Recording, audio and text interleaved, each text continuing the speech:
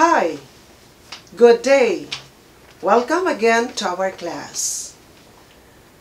Today, we're going to continue our discussion on polyhedrons. Another polyhedron is the parallelepiped. Now, this parallelepiped is a derivative of a rectangle. Imagine your refrigerator. The refrigerator is a good example of a parallelepiped. Or your cabinets or your aparadors. These are good examples also of a parallelepiped.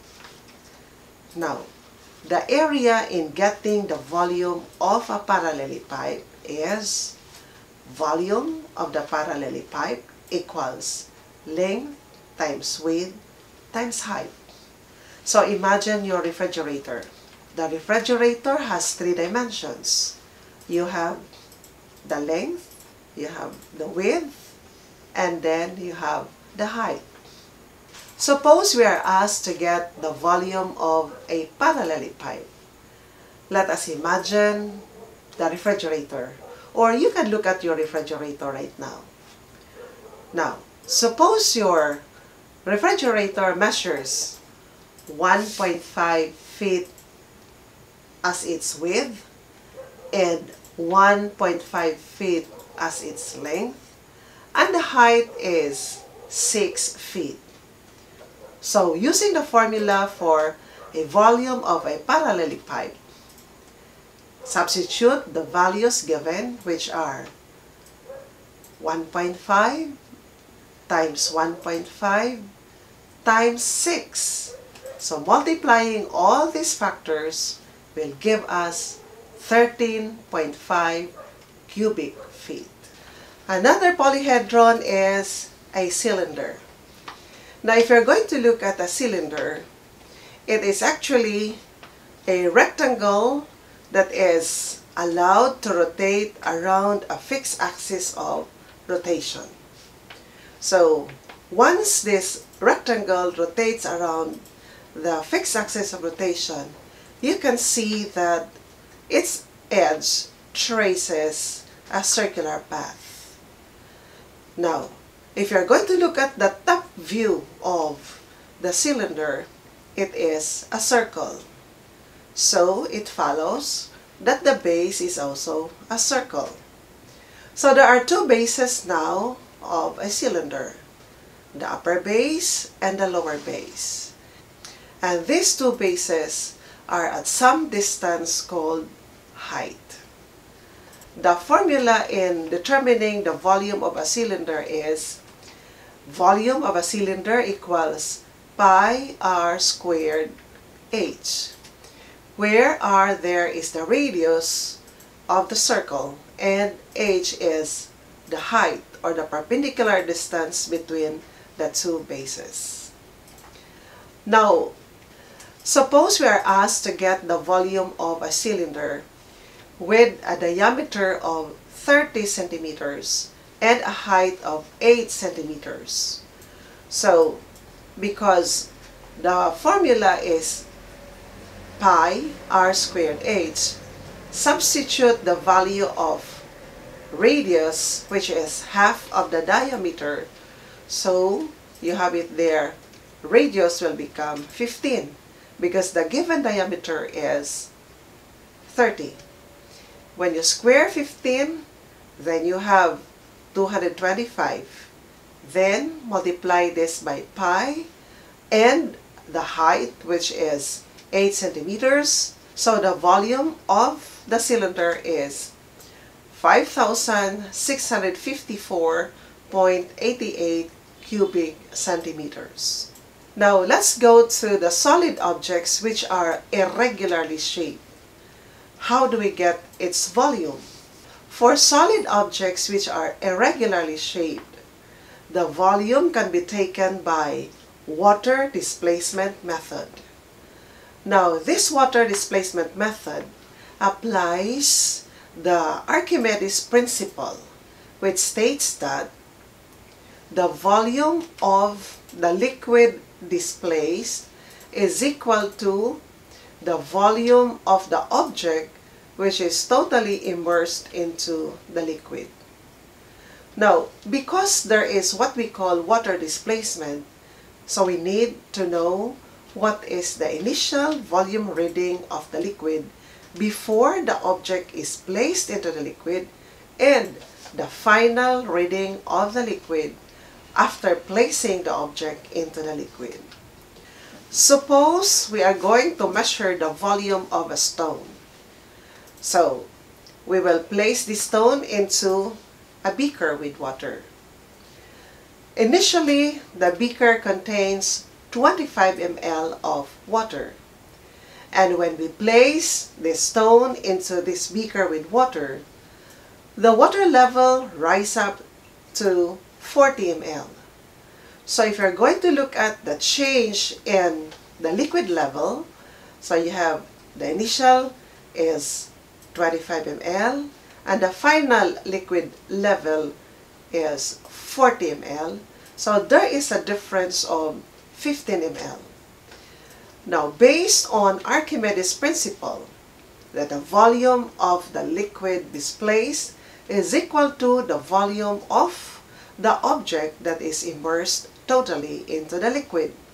So because in this problem, there is a displacement of 15 ml, so we can say that the volume of that stone dropped into the beaker with water is also 15 ml. So we are done discussing about the volume of solids. Let's go to the volume of the liquid and the gas. For liquids and gases, the volume can be expressed in terms of, in the metric system, we have the microliter, the milliliter, and we have also the liter. Now, what is the relationship between the microliter, the milliliter, and the liter? One liter is equal to 1000 milliliter. And one liter is also equal to 1 million microliter.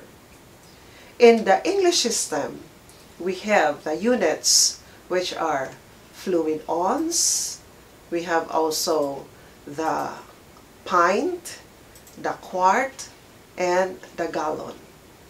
What is the relationship between these units? One pint equals 16 fluid ounce. One quart equals 2 pints, and 1 gallon equals 4 quarts. Now, there is an interrelationship between the metric system and the English system to express volume. We know that in one gallon, there are four liters. However, the strictest sense of its equivalent, one gallon is equal to 3.78 liters. One cubic feet equals 7.48 gallons. 1 cubic yard equals 202 gallons.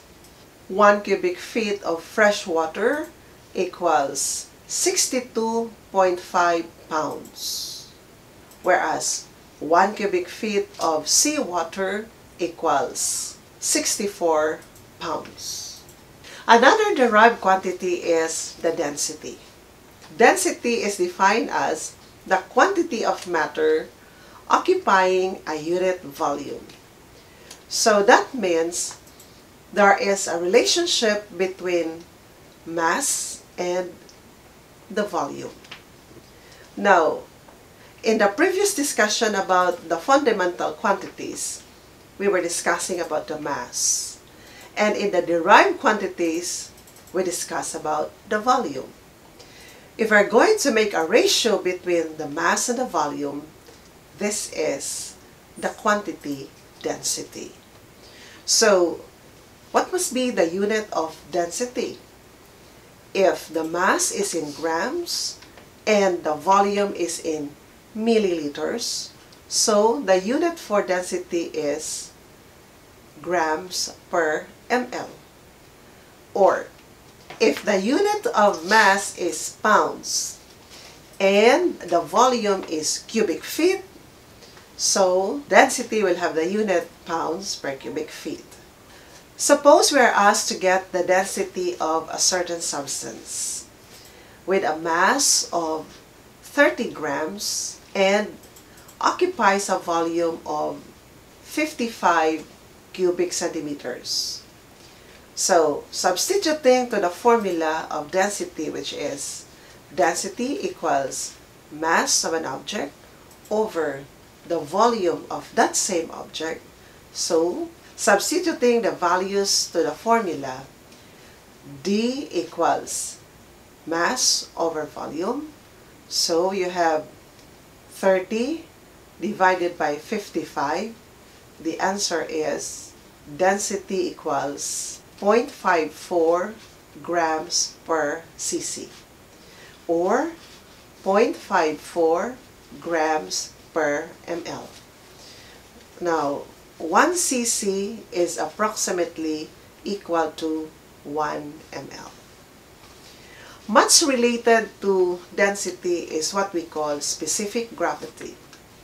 Specific gravity is defined as the density of the substance divided by the density of water taken at 4 degrees centigrade, which is 1 gram per ml.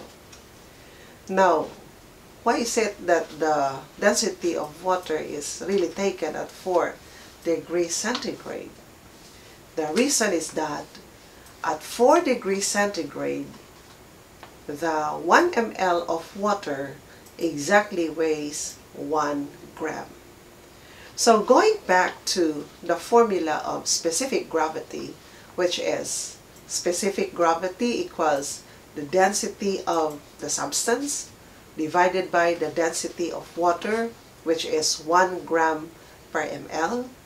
So if you're going to look at their units, they are both expressed in terms of grams per ml because it's only a ratio between two densities. You can cancel out these units gram per ml divided by gram per ml. So what happens to the specific gravity? The specific gravity therefore has no unit. The value of the specific gravity is actually equal to the density of the substance. Another derived quantity is the specific heat. Now, what is specific heat? This is the amount of heat required to raise the temperature of 1 gram of any substance 1 degree higher.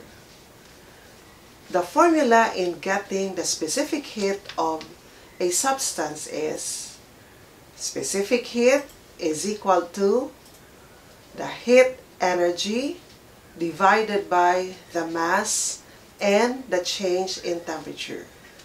So mathematically, it is represented as C equals Q over M times delta T where C there is the specific heat, the Q is the heat energy required, the M is the mass, and the delta T is the change in temperature. When we say the change in temperature, this means that you have to take the difference between the final temperature and the initial temperature of the substance concerned.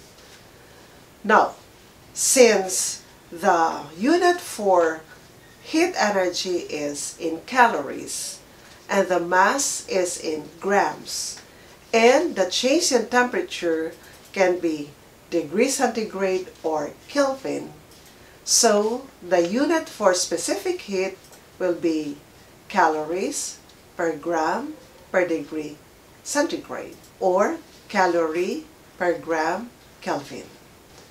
Suppose we are asked this problem. How many calories of heat is needed to change 100 grams of water from 18 degrees centigrade to 19.5 degrees centigrade. So in the problem, we are given that the mass of the water is 100 grams and the temperature is from 18 degrees centigrade to 19 degrees centigrade. So there is a difference of 1.5 degrees centigrade. Since we are asking a problem to get the number of calories, this means in the formula, we have to rearrange it in order to arrive at the working equation. If the formula is C equals Q over M times delta T, we are going to rearrange it and get the value for Q. So the working equation now will become Q equals MC delta T. Now, we said that the C there represents the specific heat. It is a fact that the specific heat of water is 1 calorie per gram per degree centigrade. So substituting all the values given in the problem, including the specific heat of water, the equation will become Q equals 100 grams times 1 calorie per gram per degree centigrade times 1.5 degrees centigrade. So you can cancel out the units which are the grams and the degree centigrade, leaving the unit calories. So the answer is the heat required in order to change the temperature of the 100 grams of water from 18 degrees to 19.5 degrees is 150 calories. So that would be all about the measurement of the fundamental quantities and the derived quantities. So next meeting, I will give a quiz about measurement. This is your teacher, Nisita Ruiz of Holy Name University.